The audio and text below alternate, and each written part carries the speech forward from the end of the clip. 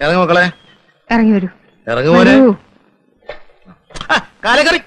ചെറുതൊക്കെ ഇങ്ങ് തരൂ അച്ഛൻ വരുന്ന അച്ഛൻ. ഏ വരട്ടെ വരട്ടെ സാരമില്ല. അച്ഛാ ഞാൻ നോക്കിയപ്പോ ഇതാ കൂടുതൽ സൗകര്യം. നമ്മളൊന്ന് കണ്ടുപിരിഞ്ഞതിന് ശേഷം ഏഴ് ട്രാൻസ്ഫർ എനിക്ക് ഒത്തു കിട്ടി. ദോഷം പറയരുതല്ലോ. ഞങ്ങൾക്കും പിള്ളേരും കുറച്ച് നാട് കാണാൻ പറ്റി. ഇനി ഒരു വിശ്രമീവെന്ന് ജീവിതം ആലോചിക്കുക. അച്ഛാ കുട്ടികളെ ഇവിടെ അടുത്ത് ഏതായാലും സ്കൂളിൽ ചേർക്കാച്ചാ അപ്പൂപ്പന് നമസ്കാരം പറ മക്കളെ നോക്കിക്കാതെ അമ്മ എന്ത് ചേച്ചാ വാ അമ്മമ്മ കാണിച്ചു തരാം. അകത്തുണ്ടല്ലോ. അമ്മേ മകളെ. ചേച്ചി. ചെറിയമ്മ ആ നിങ്ങൾ ചെറിയമ്മയോട് അകത്തോട്ട് പോയിക്കോളൂ. ആ ഒരു സന്തോഷ വാർത്ത അറിയിച്ചില്ലല്ലോ. ഞാനിപ്പോ സസ്പെൻഷനില്ല കുട്ടനാട്ടി വെച്ചാ ഇങ്ങനെ അത് സാധിച്ചെടുത്തത്. ബ്ലാക്ക് ലിസ്റ്റിൽ പെട്ട ആളായതുകൊണ്ട് ഐ എൻ എസ് പിക്കാരുടെ ഭീഷണിയൊക്കെ അവിടെ ഉണ്ടായിരുന്നു. അങ്ങനെ ഇരിക്കുമ്പോ ഒരു കള്ളനെ അബദ്ധത്തിൽ ചില പോലീസുകാർ വിളിച്ച് സ്റ്റേഷനിൽ കൊണ്ടുവന്നു. അവന്റെ പേര് കേസെടുക്കരുതെന്ന് പറഞ്ഞു വന്ന ഐ എൻ എസ് പിക്കാരനെ നേരം വെളുക്കോളം പിടിച്ചങ്ങ് തല്ലി. അതോടെ എന്റെ നാട് ചുറ്റിൽ നിന്നു. സസ്പെൻഷൻ കിട്ടിയപ്പോ. സുഖം. ആനന്ദേട്ടന്റെ വീട്ടുകാരെ ബുദ്ധിമുട്ടിക്കണ്ട. ഇനി ഇവിടെ കൂടാന്ന് ഞാൻ അച്ഛാ പറഞ്ഞത്. ഇവിടെ ഇപ്പൊ എന്താ ഒരു കുറവ്? നല്ല സ്നേഹമുള്ള അച്ഛനും അമ്മയും ആങ്ങളമാരും വലിയൊരു വീടും. ആനന്ദേട്ടാ സസ്പെൻഷൻ കഴിഞ്ഞാലും നമുക്ക് ഇവിടെ തന്നെ കൂടിയാൽ മതി കേട്ടോ. എനിക്കോ ഈ സാധനങ്ങളും കെട്ടി തൂക്കി എപ്പോഴും എപ്പോഴും അങ്ങോട്ടും ഇങ്ങോട്ടും ഓടാൻ. അല്ലെങ്കിൽ വേണ്ട. അമ്മയുടെ പേരിൽ അച്ഛൻ പുതുതായിട്ട് വാങ്ങിച്ച ആ സ്ഥലത്തെ എനിക്കൊരു വീട് കെട്ടി തന്നാ മതി. അതൊന്നും അത്ര പെട്ടെന്ന് വേണ്ട. അല്ല ഞാൻ പറഞ്ഞു ഉള്ളൂ. അച്ഛാ ലോറിക്കാരനും കൂലിക്കാർക്കും കൂടെ എണ്ണൂറ്റി എണ്ണൂറ്റി എഴുപത്തി എണ്ണൂറ്റി എഴുപത്തി അഞ്ച് എണ്ണൂറ്റി എഴുപത്തഞ്ച് രൂപ കൊടുക്കണം കൊടുത്തേക്കണേ. ആ ദേ അവന്മാര് കൂടുതലൊക്കെ ചോദിക്കും കൊടുക്കണ്ട. എന്താ നോയിക്കൊണ്ടിരിക്കുന്നേ? വന്ന് കുളിക്കുന്നേ. അത് പറയണ്ടേ.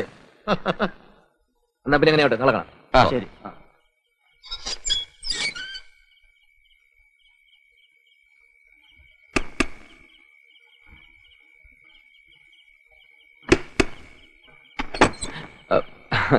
ചേച്ചി പോന്നു.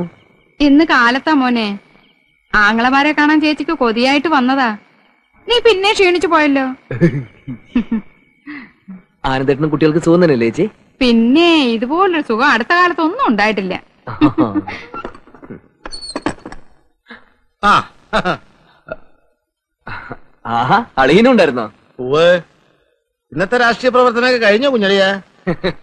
ആനന്ദേട്ടന്റെ കാര്യം ഞാൻ പൊതുവാളിജിയോട് പ്രത്യേകം പറഞ്ഞിട്ടുണ്ട്. അതിന്റെ ഗുണം കാണാനുണ്ടായിരുന്നു. ആഭ്യന്തരമന്ത്രിക്ക് ഒരു കമ്പി അടിച്ചു കഴിഞ്ഞു. ഓ അദ്ദേഹം കാലത്ത് കണ്ടപ്പോ എന്നോട് പറഞ്ഞു. കാലത്ത് എവിടെ വെച്ചുണ്ട്? പുള്ളിക്കാരൻ നമ്മുടെ മാടത്തെ ചെറൽ ചൂണ്ടിട്ടോണ്ടിരിക്കായിരുന്നു അപ്പോഴാ കണ്ടേ. ഛെ, ആനന്ദേട്ടൻ എന്റെ അനിയനെ കൊച്ചാക്കരുത് കേട്ടോ. സാധാരണ ഈ മുറിയിൽ ഞാനാ കിടക്കാറ്. ഇനി ഞങ്ങൾ കിടക്കാന്ന് വിചാരിച്ചു. അതെന്തിനാ? ഇവിടെ വേറെ മുറിയില്ലേ? ആനന്ദേട്ടൻ ഈ മുറി വല്ലാതെ അങ്ങ് ഇഷ്ടപ്പെട്ടു പോയി. നല്ല മനോഹരമായ മുറി. ഞങ്ങൾ ഇനി കൊറേ കാലം ഇവിടെ തന്നെ കാണും.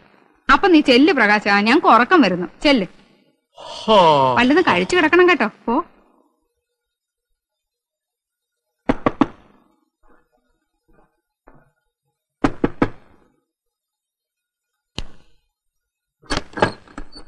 എന്തിനാടി അവർ എന്റെ മുറി കയറ്റി കിടത്തത്? ആരും കിടത്തിയതല്ല. ഹും, സംസ്ഥാനത്താണെങ്കിൽ ആകെ അഭ്യന്തര കലകം സ്വന്തം വീട്ടിൽ വന്നാലും ഒരു സമാധാനം ഇല്ലെന്ന് വെച്ചാ? കിടന്ന് ചിരിക്കാതെ ചായപ്പിൽ കിടക്കെടുത്തിരിക്കെ അവിടെ ലത ചേച്ചിയുടെ കുട്ടികൾ കിടക്കുക ബോബനും കവിതയും. പിന്നെ ഞാൻ ഏത് നരകത്തിൽ പോയി കിടക്കും? ഇനി ഇപ്പൊ ഡൈനിങ് ടേബിളേ ഉള്ളൂ. പിന്നെയുള്ളത് അടുക്കളയാ. ഒറ്റ അടി വെച്ചെന്നുണ്ടല്ലോ. നിനക്കൊക്കെ തമാശ കളിക്കാനുള്ള ഒരു കുട്ടിയാണ് ഞാനെന്ന് നീ കരുതിയോ? ഭരിക്കുന്ന കക്ഷിയിലെ പ്രമുഖനായ ഒരു പ്രവർത്തകനാണ് ഞാൻ. ട്വന്റി ഫോർ അവേഴ്സിനുള്ളിൽ ആരെ വേണമെങ്കിൽ പിടിച്ചകത്തിടാനുള്ള സ്വാധീനം കെ ആർ പിക്ക് പാർട്ടിയിലുണ്ടെന്നുള്ള കാര്യം നിനക്കറിയാലോ? എടി ഒരു പോലീസുകാരനെ പേടിച്ച് ജീവിക്കേണ്ട കാര്യമൊന്നും എനിക്ക് വീട്ടിലില്ല. ഈ വീട്ടിലെന്നല്ല നാട്ടിലുമില്ല. ഓരോന്ന് കുറ്റിയും പറഞ്ഞുകൊണ്ട് ഇങ്ങോട്ട് പോരും. എടി നിനക്കൊന്നും എന്റെ വില മനസ്സിലാവില്ല? എന്നെ കറിയണമെങ്കിലേ നാട്ടിലൊന്ന് ഇറങ്ങി ചോദ്യം കെ ആർ പി എന്ന് പറഞ്ഞാൽ ഞെട്ടും. എനിക്കൊക്കെ തിരുവനന്തപുരത്തേക്ക് ഒറ്റ കോള മതി. നിനക്കറിയാമത്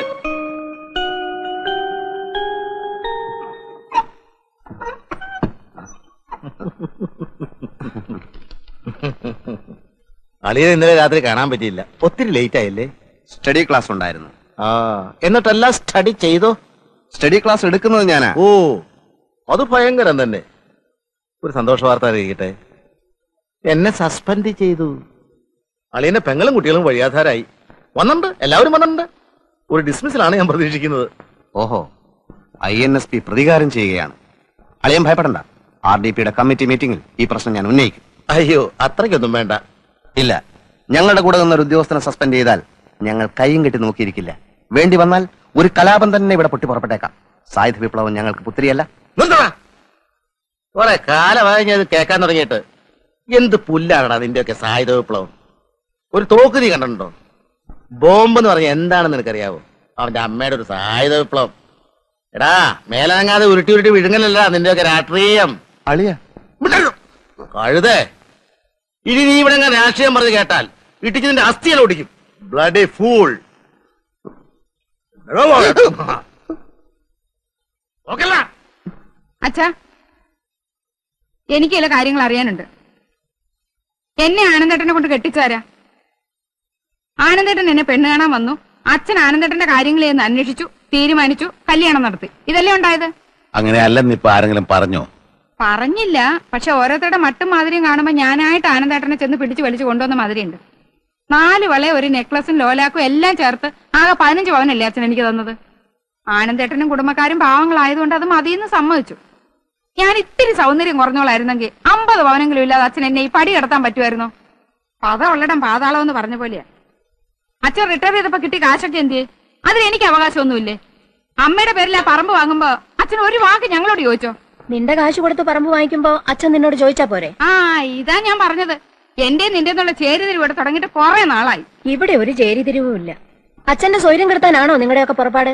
അവൾ പറയട്ടെ ഭാനു. ആനന്ദേട്ടന് ഒരു വിഷമം വന്നപ്പോ നിങ്ങളുടെ രണ്ടാമക്കളും തിരിഞ്ഞു നോക്കിയോ? നിന്റെ ഭർത്താവിന്റെ കയ്യിലിരിപ്പും കുറച്ച് നന്നായിരിക്കണേ. ദേ അമ്മേ ആനന്ദേട്ടനെ വല്ലതും പറഞ്ഞാലുണ്ടല്ലോ. സ്നേഹം തൊട്ട് തിണ്ടിട്ടില്ലാത്ത നിങ്ങൾക്കൊന്നും അതിന് അവകാശമില്ല. ആനന്ദേട്ടന്റെ വീട്ടുകാരെന്നെ പൊന്നു പോലെയാ നോക്കുന്നത്. അറിയാം കേട്ടിട്ടുണ്ട്. ഇത്രയും സ്നേഹമുള്ളവരെ ഉപേക്ഷിച്ചിട്ട് എന്റെ പൊന്നുമോൾ എന്തിനാ ഇങ്ങോട്ട് വന്നത്? അയ്യടാ നിങ്ങളുടെ സ്നേഹം ആസ്വദിക്കാൻ വന്നോന്നല്ല തരാനുള്ളത് തന്നാലേ ആ നിമിഷം ഞങ്ങളങ്ങ് പോയേക്കാം.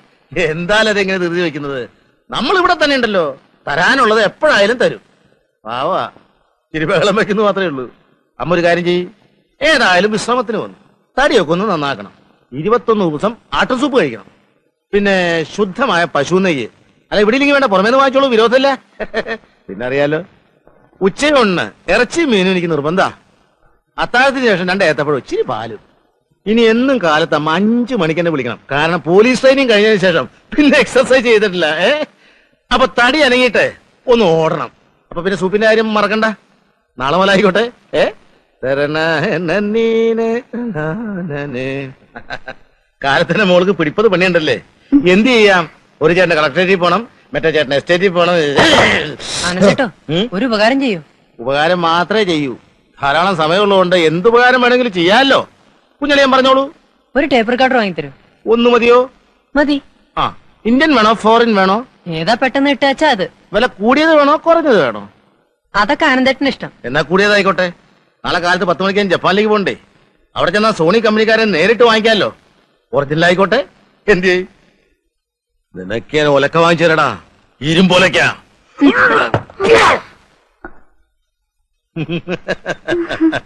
ഇത് ഐ എൻ എസ് പിക്കാരന്റെ കുപ്പായായിരിക്കും അല്ലേ. എനിക്കിത് നന്നായി ചേരുമെന്ന് തോന്നണല്ലോ മോളെ. പ്രകാശ് ചേട്ടൻ ഇപ്പൊ പുറത്തു പോണെന്ന് പറഞ്ഞു. പോയിക്കോട്ടെ കുഴപ്പമില്ല. ഇത് ഞാൻ എടുത്തൊന്ന് പറഞ്ഞാ മതിന്നേ മറ്റുള്ളതൊക്കെ മുഷിഞ്ഞിരിക്ക. ആഹാ മുഷിഞ്ഞോട്ടെ. എന്നെങ്ങും പഠിപ്പിക്കാൻ വന്നാണ്ടല്ലോ അടിച്ചു നിന്നെ ഞാൻ.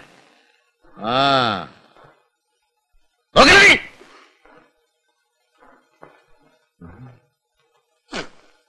എല്ലാം തേച്ചു വെച്ചോടി. പ്രകാശേട്ടന്റെ മുണ്ട് ഷർട്ടും ആനന്ദേട്ടൻ എടുത്തോണ്ട് പോയി. ആനന്ദേട്ടൻ? കൊണ്ടുപോയി. ബാക്കിയെല്ലാം മുഷിഞ്ഞിരിക്കാൻ തോന്നിയപ്പോ എന്നെ തിന്നാൻ വന്നു. ഓഹോ ഈ മനുഷ്യനോട് കുഴപ്പമുണ്ടാക്കുന്ന തന്നെയാണല്ലോ വന്നിരിക്കുന്നത്. കുഴപ്പത്തിനൊന്നും പോണ്ട. നീ മറിയുന്നേ അവരെ കളി അവസാനിപ്പിച്ചിരുന്നു.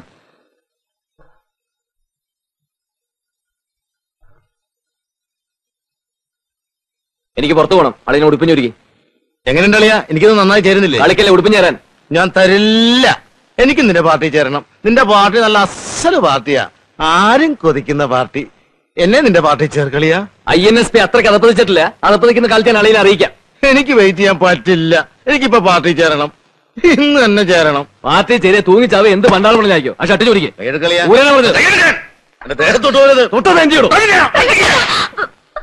നേരമായി ഞാൻ ക്ഷമിക്കുന്നു എന്റെ വീട്ടിൽ.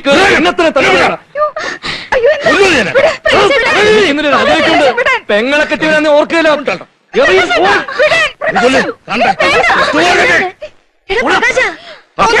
എന്നെ മക്കളെ എല്ലാരും നീ കൊന്നു ഇതിനാണോ ചേട്ടാ ഓടിപ്പടിച്ച് ഇങ്ങോട്ട് വന്നത്? ഇത്ര സ്നേഹമില്ലാത്ത വർഗമാണെന്ന് ഞാൻ അറിഞ്ഞു.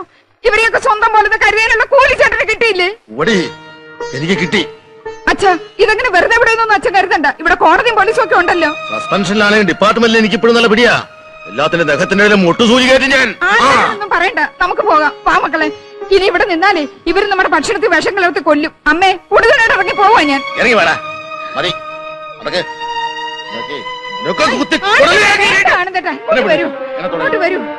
നന്ദിയില്ലാത്ത വർഗങ്ങളാ. നമ്മുടെ കണ്ണിൽ ദൈവം